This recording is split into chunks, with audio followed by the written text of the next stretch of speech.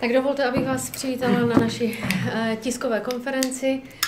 Přivítala tady hostujícího trenéra pana Štormu, Františka, a zároveň po dnešním utkání, které skončilo remízou 1-1, bych vás chtěla požádat jako prvního k zhodnocení tohoto zápasu. Tak eh, děkuji moc za přivítání. Eh, my jsme přijeli na hodně, hodně těžký terén, kdy, kdy jsme viděli, že tady nepůjde moc praktikovat tou naší kombinační hru, co, co chceme hrát a, a musím kluky poděkovat za, za bojovnost a nasazení, který, který tomu dali, protože dneska to bylo méně o fotbale a víc spíš o takovém srdíčku, o vůli jít za tím vítězstvím.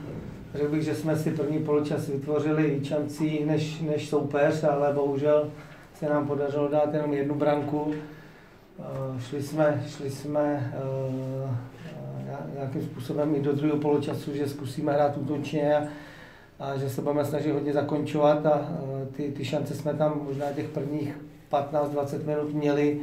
Škoda, škoda ty konstrukce brankový, co jsme nastřelili, protože to si myslím, že že to byl krásný, krásný fotbalový okamžik a, a dá se říct, že pak jsme to prostřídali, naskočili tam hráči, který eh, my jsme neměli zase tak velkou lavičku, protože máme velkou marotku a dá se říct, že to ovlivnilo i ten průběh toho zápasu, toho konce, kdy ten soupeř uh, nás tlačil a měl více držení, držení balonu, to to měl, ale nějakým způsobem jsme, jsme hráli tak, že že jsme ho nepustili do nějaký gólové situace, nebo aby mohli zakončit, takže eh, mrzí mě, že jsme, že jsme gola nedali, protože dalšího, aby jsme vyhráli, protože myslím, že jsme měli víc šancí golových na to eh, tady vyhrát, ale na druhou stranu za těch posledních 20 minut jsme nepředvedli nic, tam z naší strany bylo jenom bránění a, a takže asi, asi odsud odjíždíme s bodem a, a musíme být spokojení. Děkuji vám. Není zač.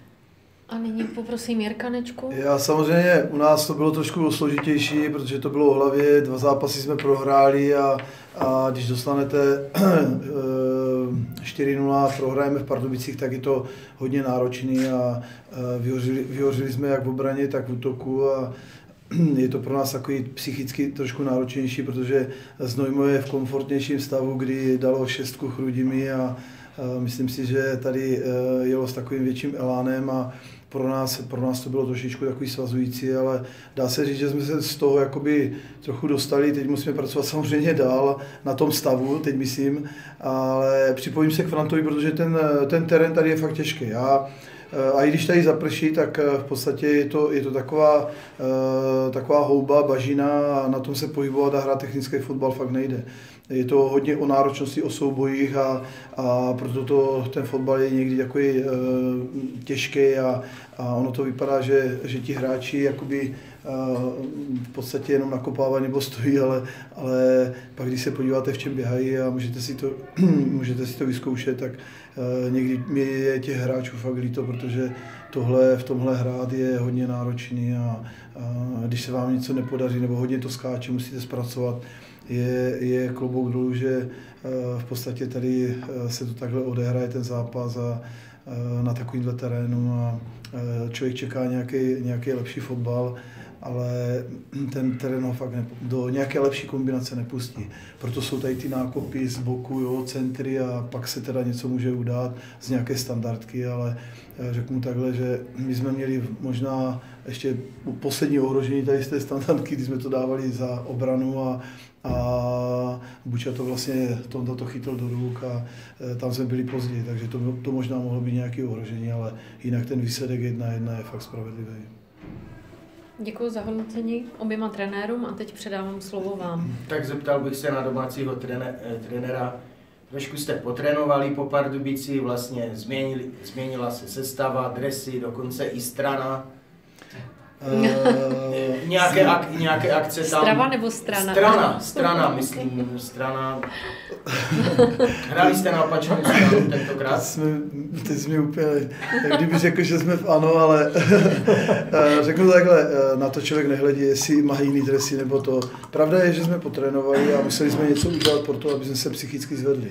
Takže proto, proto byla taková změna tady v těch tréninkách, ale, ale jinak jsme pracovali dál a, a musíme dřít dál, to jinak nejde protože oba, oba dva týmy, eh, já to řeknu i za Frantu, jsme v takové pozici, že eh, první vždycky hledíte na záchranu. To znamená, eh, furt chcete uhrát co nejvíc bodů a, a za nás řeknu, že my jsme doma pro švihli ústí, který, který tady nám dalo dva góly ze standardky a, a prošli jsme úplně totálně Pardubice, takže ono pak je to fakt o hlavě a někteří, někteří hráči to uh, unášejí slabě a, a bohužel to je, to, je, to, je to takový ten trend těch hráčů, teďka je taková, se říká, jiná doba a když se na ně trošku hukne, tak někteří, někteří uh, to právě ta hlava neunese a, a oni si myslí, že ty peníze uh, si dostávají jenom za to, že, že jsou jakoby hráči, že mají profesionální smlouvu, ale uh, každý z těch hráčů, to mě myslím i Franta potvrdí,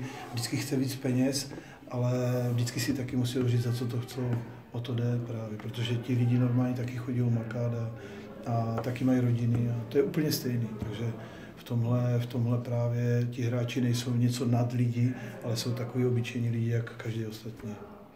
No a bych se teda, pořešili jsme tady stranu, tak bych se zeptal na tu sestavu, bylo tam několik teda změn.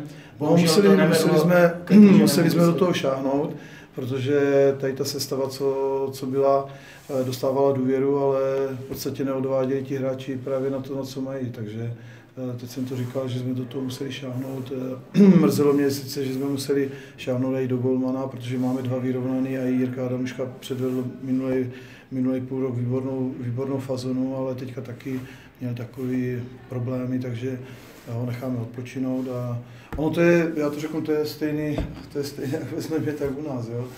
Znojmo sice vyměnilo taky hrozně moc hráčů, když to vemu, a, taky, taky bojují a, a ta psychika je prostě teďka taková, že jsou na takové lepší vlně bodové a, a když jim to takhle půjdou, tak budou za tři kola třeba zachráněni a pak si budou ještě dovolovat víc. To znamená, to, k tomu komfortu je musíme donutit i my. No ale teďka bych se vrátil k Přínci, asi jste čekali víc tři kola a bohužel jeden bod.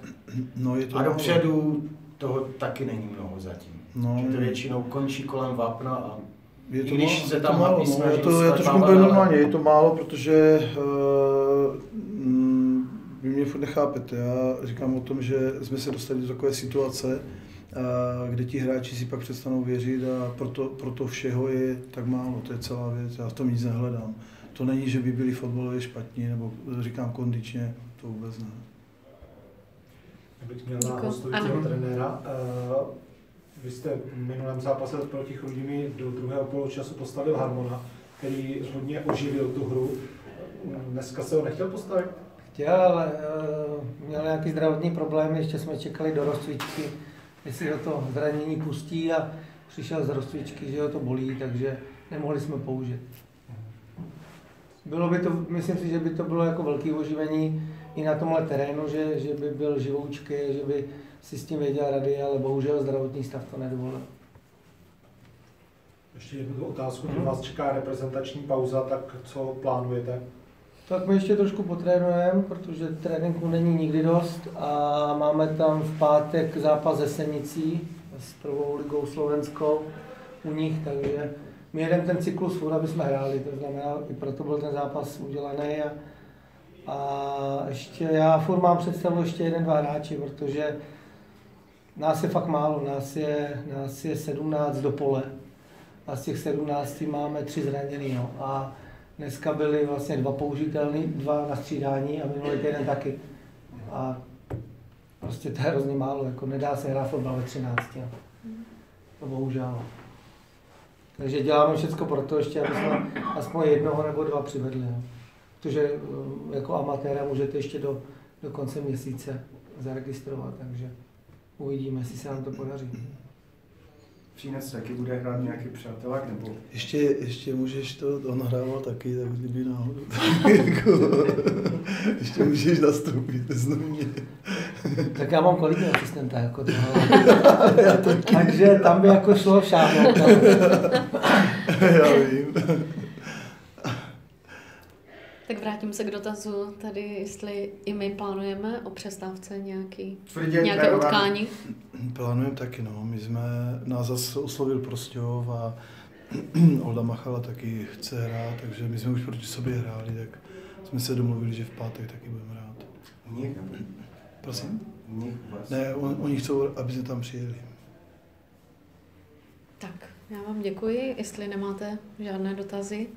Akorát se nesmí nikdo zranit. Tak, tak, to už je riziko. To už je právě to riziko. Tak jo. Čau.